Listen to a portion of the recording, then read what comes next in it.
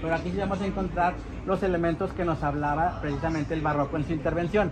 Acá arriba está esta imagen de bulto de la Virgen de Guadalupe, que no es original. Arriba de la Virgen está San José, pero vean atrás de San José que hay. La Virgen. La Virgen de Guadalupe. Entonces, originalmente en el nicho, de, se llama nicho de honor, estaba la Virgen de Guadalupe. Después se colocó a San José ahí y en la ventana coral se colocó una imagen nueva de bulto en lugar de un relieve de la Virgen de Guadalupe.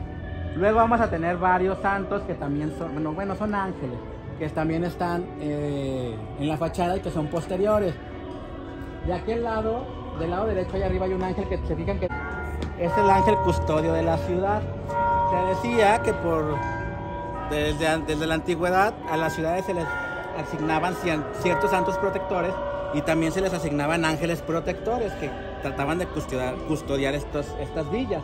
Por lo tanto, el ángel custodio de la ciudad va a llevar precisamente la imagen de la catedral y la columna de la plaza en representación de los elementos más importantes. Obviamente este ángel ya es muy posterior porque la catedral no tiene dos torres y sobre todo la columna es de 1808. Tenemos de este otro lado, bueno, aquí sobre, de aquí hacia arriba está San Miguel Arcángel, acuérdense que hay nueve coros angélicos.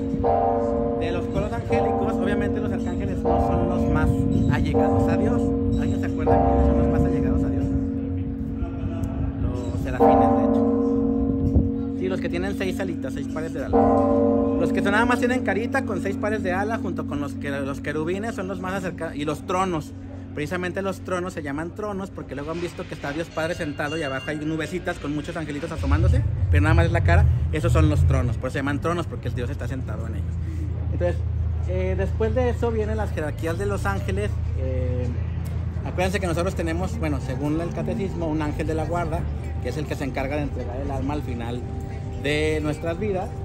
Y este ángel de la guarda pues está comandado por los ejércitos celestiales y el, principal capitán de los ejércitos va a ser San Miguel Arcángel. Por eso es que lo vamos a ver representado siempre con una espada, este, una lanza y muchas de las veces está pisando al dragón, que es el enemigo, precisamente. La azucena representa símbolo de pureza, pero en caso de ángel, pues los ángeles son puros, los ángeles no son, no son este, eh, entes que, que, se inclinan al mal según el catecismo. Hola. Entonces, este ángel que lleva la azucena es San Gabriel, el ángel de la Anunciación, y según los escritos de la Biblia, es el que le van a encargar, es el mensajero de Dios, el que siempre lleva los mensajes, el que se le aparece a Abraham junto con nosotros, el que le dice a María, el que le habla en sueños a José para que se lleve al niño y huya a Egipto, el que le dice que no deje a María porque está embarazada. Entonces, Gabriel siempre va a aparecer como uno de los ángeles importantes. También vamos a tener el otro lado a la izquierda, el que no tiene mano precisamente, es San Rafael. San Rafael es la medicina de Dios y a él generalmente se le atribuye o se le coloca con un, con un báculo y unos pescados y una alforja, la alforja, de peregrino. Según la creencia, bueno, según la historia bíblica, hay un personaje que se va a llamar Tobías y Tobías se quiere casar con Saraí. Pero Saraí no puede casarse con nadie porque al momento que se casaba con los hombres, el día de la noche nupcial, al día siguiente amanecían muertos y nadie sabía por qué. Ella pensaba que estaba maldita y un día eh, se enamora de Tobías. Tobías tiene miedo de que vaya a pasar lo mismo que con los exnovios de Saraí.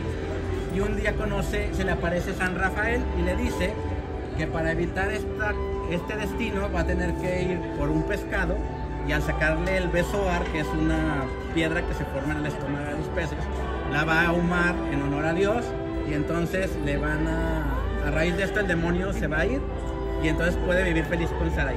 Al día siguiente todos los ancianos del pueblo pues ya sabían, dicen, no, pues este se va, ya sabemos el destino de Tobías, o sea, va a irse con Sarai y al día siguiente va a amanecer muerto. Y ven con sorpresa que él seguía vivo y Sarai va a cambiar su nombre a Sara en honor a este, a este pasaje. Les decía que se llama también medicina de Dios porque a través de esta, del besoar y el pescado, habla del ángel de la sanación. Antiguamente van a encontrar que eran siete arcángeles o siete príncipes. Conforme pasaron los concilios, únicamente se han, se han decretado que son tres arcángeles, no hay más. Antiguamente eran siete. Y es, en Oaxaca todavía van a encontrar el convento de los siete príncipes, por ejemplo, o van a ver retablos barrocos donde van a ver siete arcángeles, precisamente hablando de estos siete personajes, que actualmente para la iglesia ya los demás no son parte del canon, nada más existen estos tres. También vamos a tener que este templo, se sabe que la manufactura es del taller de Felipe de Ureña. Felipe de Ureña es un alarife que va a trabajar en esta región entre Guanajuato, Querétaro, la zona de los Altos de Jalisco y Aguascalientes. Va a tener un taller en Querétaro, va a tener un taller aquí que estaba, eh, que era trabajado por su yerno y que también obra civil de Ureña, la Casa Terán, se le atribuye a Felipe de Ureña. Tiene muchos lóbulos polilobulados. Y este mismo arco lo vamos a encontrar en la parroquia de Lagos de Moreno y lo vamos a encontrar en el templo de San Diego de Alcalá en Guanajuato. Por eso es que también, tanto por los documentos como por el estilo, podemos afirmar que es de Felipe de Ureña. Ahora, ¿se acuerdan que les expliqué en la clase pasada que se dividía en calle central, calle lateral, calle, calle lateral derecha, calle lateral izquierda? Aquí pueden definir perfectamente las calles, si se fijan es un poco más confuso, aunque sí las tenemos. Allá es otra y la central. Pero si se fijan aquí ya tenemos otra pilastra que nos está persiguiendo con la calle central, que es la famosa pilastra anilla. Entonces, como este que ponen acá, va, a ser barroco estípite y por lo tanto también se le considera como barroco churrigueresco. Pero generalmente no es bueno decirle churrigueresco, le denominamos ultra barroco o barroco recargado. Ahora, ¿me pueden definir si hay tres calles en esta fachada? En las fachadas, aquí hay una, aquí hay otras, que son como telones o estandartes, pero bueno, esta guardamalleta es muy bonita porque viene como el telar, vienen estos roleos, este roleo, viene este, este angelito, este querubín, con sus, con sus alas, la concha de la venera, aquí abajo vamos a tener estos eh, elementos eh, florales, fitomorfos, y luego sube otra vez, tiene otra vez otra gran guardamalleta con otros roleos, pero aquí tiene un corazón, ¿se fijan? Que nos va a hablar del corazón de Jesús. Y luego otra vez una venera grande, y luego viene la peana, y luego viene el nicho, y luego viene aquí arriba también otra venera, que está más enarbolada en parte, y luego viene este otro angelito, que lleva una corona aquí. Aquí también esta otra pilastra, lleva esta flor aquí al centro, lleva esta moldura con estos elementos fitomorfos, lleva esta guardamalleta, viene aquí otro, otra cara de angelito con aquí como otra corona de laureles.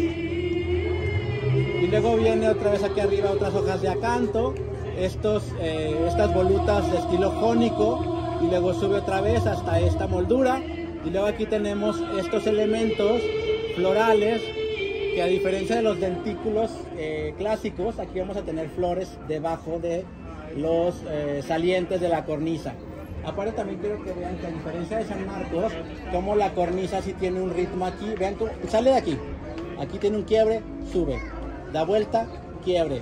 Entonces fijan cómo va dando mucha vuelta la cornisa, eso nos habla del reino. Y luego de arriba está el Espíritu Santo, con forma de paloma. Y luego tenemos como hay como unas cortinas que cuelgan precisamente cortinas de piedra. Esas están muy bonitas porque vean que la, habilidad de los canteros para haber realizado esas. Y luego después viene hasta allá arriba este, San José, que va a aparecer como personaje principal de la vida de María. San José con el niño. Aquí ya nos lleva la vara florida, probablemente la perdió con el tiempo. Pero hasta arriba, de aquí de esta pilastra, hasta mega arriba, hasta mega arriba, va a estar una paloma colgada. ¿Ya la viste? Pablo, lo sabemos porque lleva la espada. Pedro y Pablo van a ser las dos pilares de la iglesia y se van a representar siempre, siempre juntos. Este, en cualquier templo dedicado a ellos. ¿Por qué? Porque de hecho en la festividad de Pedro eh, también se celebra San Pablo, que es el 29 de junio. Y también se sabe que, aunque no fueron contemporáneos, Orbe y tiene aquí su mano. Generalmente en la mano tiene una pluma. Y luego aquí está él, este, precisamente en, sobre la puerta. Generalmente en las obras de Ureña vamos a encontrar que él coloca a Dios Padre en esta posición de la puerta. ¿Por qué? Porque acuérdense que el personaje más importante de todas las religiones pues va a ser Dios, Dios Padre. Este, ¿Alguna otra pregunta de aquí? A las 2, 4, 6. Estos son los que están más cerca de Dios. Vean, ay, vean estos angelitos que están aquí también, al lado de la Virgen. Y vean estas tracerías que están justo aquí, aquí al lado de arriba del ángel. Todo esto es piedra, ¿eh? pero parecería que fuera como si, fuera una tela textura o una, un- una trenza, sí, como una, una, sí, una rama trenzada. Pero vean la calidad del labrado de la piedra. Atrás del Espíritu Santo vean el resplandor que tiene, que también está labrado como calado. También vean la calidad del calado de la piedra. La verdad es que sí hay una maestría muy diferente a la que vimos en San Marcos, donde está mal hecho el, león. Aquí sí hay grifos como, sí, pues cuerpo de león o gato, bueno, más bien cuerpo de león, aquí tiene como un rostro de gato, que también son elementos antropomorfos que van a estar eh, marcados en las fachadas. Esta cantera, los bancos son de la región de Querétaro, Guanajuato, los Altos de Jalisco. La cantera de este tipo no era extraída cerca de, bueno, aquí en Aguascalientes no había de este color como tal. Entonces, el proyecto de Reyes que va a ser mucho más en Guadalupe también vamos una astilla y cerró el carne sobre el lugar vacío. Y de la astilla que había sacado del hombre, Dios formó una mujer, se la llevó al hombre y éste exclamó: Esta sí es hueso de mis huesos y carne de mi carne. Vean la diferencia de los de afuera. Esta será llamada mujer, Este es porque ha sido formada por el hombre. Por eso el hombre abandonará a su padre y a su madre y se unirá a su mujer. laterales y vean este elemento que hace que la luz baje aquí. Esto lo va a resolver Reyes igual en San Diego. El púlpito que tiene los cuatro evangelistas, donde se sube el Padre. al Señor y ama de El púlpito es sus un- mandatos. Su linaje será poderoso en la tierra. La descendencia del justo será bendita. Y lo que les decía que la capilla antigua es esa, esa puerta. En su casa habrá riquezas y abundancia. quieren, vamos afuera y les- para explicarles bien qué es lo que sin falta. En las. El refugio Reyes amplió esta nave por donde pasamos y luego vieron las capillitas laterales. Esas capillitas laterales las va a resolver como si fuera una pequeña nave más. Y esas mismas, en San Diego lo vamos a ver ahorita, esas mismas capillas laterales con, ese, con esa linternilla que da luz, lo resuelve igual en San Diego. Y entonces las imágenes tocadas era que si tú vas aquí y prometes una manda, la puedes cumplir aquí. Es como una cuestión de, de, de importancia de la imagen. Está pintada por Joseph de Alcíbar en 1777. Hay varias pinturas de la Virgen de Guadalupe en Aguascalientes de pintor barroco. Tenemos esta, la imagen al centro del lado. Llaman. Es una ventana eh, mixtilínea. ¿Se acuerdan que les decía que era un mixtilíneo que tenía curvas y líneas rectas? Los festones de rosa, la rosa va a ser importante en la iconografía mariana, sobre todo en la Guadalupe, en la cuestión del milagro de la rosa, la venera, y aquí se le van a incorporar en los laterales de las, de las naves estos elementos de talavera eh, en azul y blanco. El azul y blanco todavía nos va a recordar el color del lago. Y aquí hay un elemento que está, que se encargaron de la edificación del templo. Y miren esta piedra sí se ve bastante antigua. Y creo que está fechada, ya se apareció, apareció la fecha. Que bueno, ya quedaría, ya quedó aquí en esta parte lateral. Acuérdense que también, ¿cuál fue el último campo? Y en los laterales. En las fotografías antiguas vamos a encontrar que el templo de Guadalupe, es decir, aquí tienen unas escalinatas, afuera del templo escalinatas. Entonces aquí bajaba el nivel de piso y más o menos por este sitio estaba la puerta antigua del panteón y más o menos por aquí donde está la barda estaba una capilla que también tenía el interior del cementerio. El cementerio llegaba hasta donde termina la escuela y abarcaba también toda esta parte de, la- de este otro atrio que tienen aquí, eh, que ahora está dedicado a este monumento a Cristo Rey. Y bueno, aquí sí restauraron ciertas cosas, miren, por aquí vamos a ver la cúpula, cómo se alcanza a ver. El segundo plano donde están las naves, la- estas son las naves laterales, esa es la nave principal y ahí arriba está la cúpula, pero si se fijan que la cúpula, a diferencia de las que vimos en la Merced o en San Marcos, no es octagonal, esta sí es cilíndrica. Sí, sí, es completamente cilíndrica, que así es como eran las cúpulas europeas, a diferencia de las cúpulas novohispanas. Y lo que les comentaba de la cuarta nave es, esta, es esa nave que está ahí. Esa ya se hizo ya después de la segunda mitad del siglo XX y es donde está el baptisterio y donde ahorita me comentaban que están los nichos, los nichos nuevos. Les regresan, de hecho están regresando las iglesias a tener sepulturas, pero ahora nada. El santo del, del medallón, ¿quién es? San Juan de Pomuceno. Sí, sí, sí. Está, tiene el crucifijo y tiene la vara, bueno, la palma de mártir. ¿Se acuerdan cómo muere? Lo manda a matar el rey Wenceslao en la República Checa, bueno, Praga, este, porque él era el confesor de la reina. Quería saber si la reina le ponía cuerno, entonces a hablar. Y como él no quiso romper el secreto de confesión, lo aventó del puente de Carlos sobre el río Moldava. Y entonces eh, se convierte en el santo patrono del secreto de confesión, precisamente. Y entre sus atributos está el crucifijo, está el candado también, está la palma de martirio. Generalmente la palma de martirio también puede llevar tres coronitas, una dorada, una plateada y una de bronce, que habla de las tres, este, las tres etapas de la iglesia. Ya que la iglesia militante, la iglesia purgante y la iglesia triunfante. Y también lleva, eh, ay, se me olvidaron cuántas estrellas. Muy americanizado. 17 y 18 están ya súper modificadas. Entonces, ¿se acuerdan que les dije que eran los mesones? O sea, aquí estaba la parte principal, la zona de la recepción, este, los servicios principales y luego ya cada una de las habitaciones. También ya está modificado porque al final de cuentas lo original es del lado derecho donde están los cuartos y al fondo ya hay construcciones ya más contemporáneas. Entonces tienen que tener también sus caballerizas para poder recibir a los, hijos que transitaban por el camino real de tierra adentro. Agraciadamente, bueno, de cómo es que él lo tenía a cargo. Todavía se conserva algo del esquema, el esquema, que es este patio central, hasta atrás estaban las caballerizas, accesorios.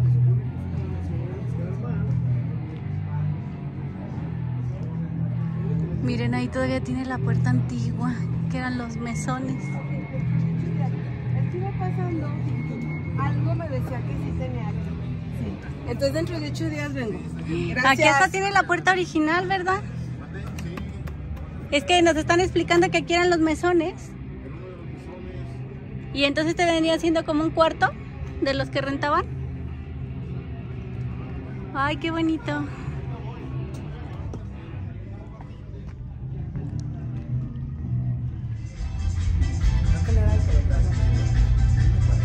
¿Qué era? ¿El techo Eh, qué? ah, el techo es las vigas, palmas y tronquitos de madera. Luego lleva un terrado, o sea, tierra tal cual, con cal. Y luego lleva un impermeabilizante de alumbre con jabón, que todavía se utiliza, todavía se hace a veces. Que les decían los techos de leña, les decían, Ajá. ¿verdad? que se llamaban morillos a estos. Ah. Pero sí lleva todavía, bueno, este se cambió, Bueno, ahorita tiene viguería ya más. Como alrededor de los 30, 40, y es lo que sobrevive todavía de viguería. Pasamos por este otro lado. Y bueno, todo el mesón de la, este es el famoso mesón de la mulita. ¿De la mulita? Ajá, Ah, donde nació Jesús F. Contreras. Jesús. F. Contreras, el gran artista, el escultor, ¿verdad? Sí. Mira, hasta allá y hasta acá. Pero ya nada más quedan las fachadas. Pero sí conserva todavía. Sí, verde y este y este blanco está ese que tiene que está que es también verde que tiene las ventanas iguales cuatro. Es este pues, geometrizante. Y también podría ser deco donde está la ventana con tracería arriba. También tiene esos elementos medio geometrizantes, no son tan claros, pero sí lo es. Y la ventana en la verilla tiene una pequeña simulación de Art Nouveau, pero no llega a ser curva. Ajá.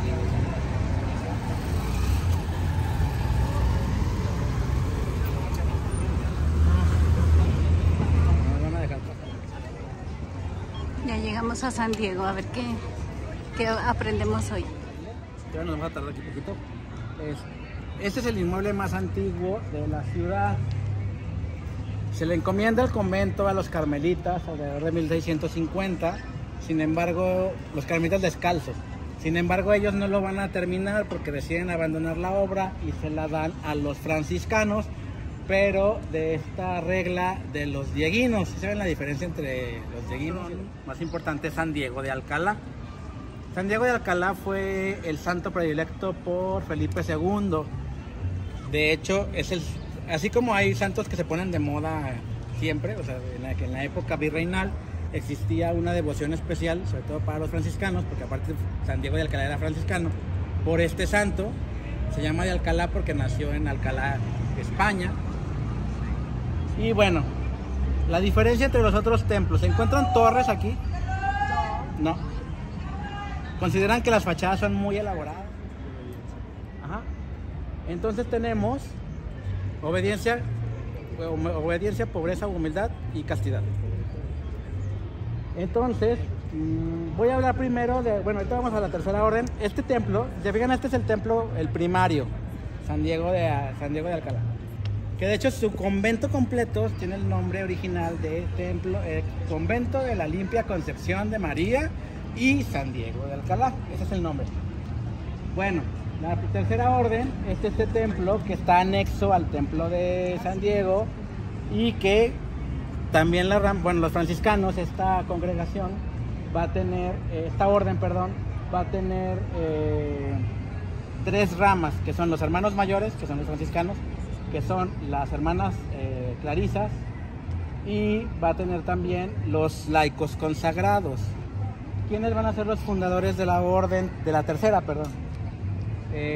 aquí está San Luis Rey de Francia, Santa Isabel de Hungría, que son los bueno, de hecho ellos son eh, de la realeza y van a ser quienes van a aportar mucho para la fundación de la orden.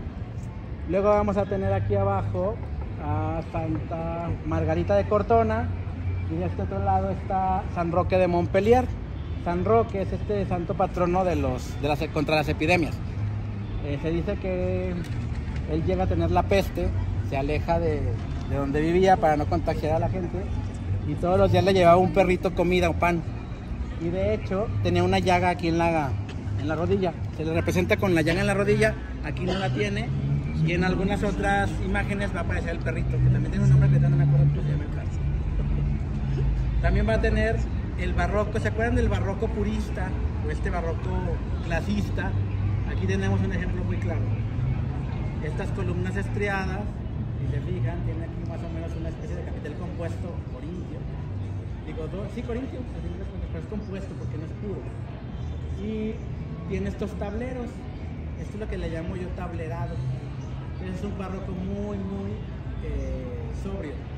Vean aquí abajo de esta peana, esta pequeña, no, casi llega a ser tipos de muy, muy, muy, eh, apenas ligeramente representado. Y luego tenemos también tenemos estas, se fijan que aquí hay tres esferas, son las tres órdenes franciscanas. Y aquí estábamos hablando del cordón franciscano, aquí aparece. Aquí arriba aparece la cruz con el símbolo franciscano, el brazo de Francisco y el brazo de Cristo. En la parte alta está San Francisco de Asís, que es el patrono de la orden. Esto no es una torre, esto es un, este, espadaña. una espadaña con pilastras tableradas Aquí tiene un roleo, que esto me a saber que es barroco, Aquí viene otra vez la, espadaña superior, otra vez tablerado. Aquí tiene una cornisa ochavada, como la de la catedral. De este otro lado, ha sido modificado también, porque así como se modificó Guadalupe también, probablemente esta portada no, o sea, se tuvo que haber movido, pero sí se conservan elementos originales del diseño otra vez los tableros de las pilastras, los tableros. Aquí esto es muy liso en el friso. Vean también la decoración del arco en las dovelas, pues ni se ve. Y en la piedra clave nada más viene este, este emblema, esta cartela con, el emblema, con este medallón y es todo. En la parte de arriba viene una cornisa muy ligera, que sabemos que es barroca más por este pequeño movimiento que se, alcanza a percibir muy, muy tenue. Termina con estos perillones aquí arriba. Y aquí tenemos también otra vez, en, el- en esta hornacina, otra vez la venera. Aquí tenemos esta decoración también barroca. Aquí está San Francisco de Asís con la calavera. Una parte de los atributos de esa calavera que tiene que ver con esta parte de la escatología que, no, no somos, que más bien que el reino de Dios no está en este mundo. El reino de Dios no está en este mundo, sino que nos esperamos a la vida eterna y nos habla de esta pasión de que todos somos pero que la, el alma tiene una esperanza que debe. También tiene aquí este pequeño frontón quebrado triangular con esta cruz. El convento fue todo fraccionado y vendido en el siglo XIX. Sí, San Antonio de Padua. Pero no era ahí la entrada a las catacumbas. Columnas estriadas, tableradas. Sí, la ventana coral, pero aquí a diferencia de las otras, si te fijas, no tiene. O sea, la jamba y las jambas y el dintel son lisos, o sea, rectos, completos. Únicamente lleva esta decoración de estas guirnaldas. Y luego aquí sí lleva otras pilastras, pero vean cómo son completamente lisas. Y aquí termina con un remate completamente liso, como el estilo dórico. Y luego tenemos aquí otra vez el frontón triangular quebrado. ¿Quién está aquí arriba? La Inmaculada Concepción, igual que en San Marcos. Y luego tenemos aquí también estos escudos con cartelas, que bueno, aquí ya son, hablan del año 2000, o sea, fueron este, relabrados. Pero, ay, perdón, perdóname. Pero realmente original tenía, probablemente tenía algunos escudos reales. Recuerden que quienes fueron los primeros que llegaron a evangelizar la Nueva España, los franciscanos. Llegaban de 12 en 12, que les expliqué lo de los franciscanos, los dominicos, etc. Aquí tenemos en la piedra clave del arco a... Lleva una canasta de panes aquí y una cruz. San Diego de Alcalá, sí, es el santo patrono de la, del templo. Y bueno, aquí en estas, a esto se le llama enjuta, a este triángulo que se forma entre el arco y esta parte del friso, se le llaman enjutas. Y aquí en las enjutas pues tenemos también algunos algunos textos narrados. Si se fijan aquí ya nos habla que la iglesia se consagra hasta 1845, entonces ya tiene modificaciones del siglo XIX que no son completamente barrocas, pero sí se conserva la en esencia el templo. ¿Cuáles son las partes de los conventos? ¿Se acuerdan?